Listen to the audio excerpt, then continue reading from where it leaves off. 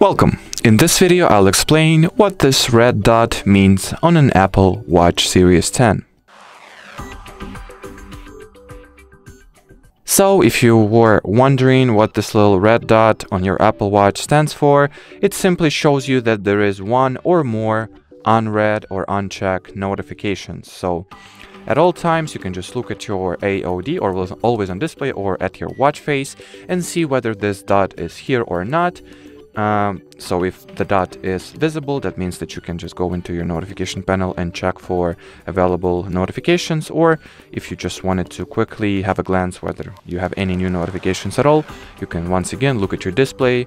And if there is no red dot, that means you have no notifications. As simple as that. So it pretty much just here, uh, or it pretty much exists just to save the extra step of opening the notification panel and checking whether you have any new notifications, any new unchecked notifications.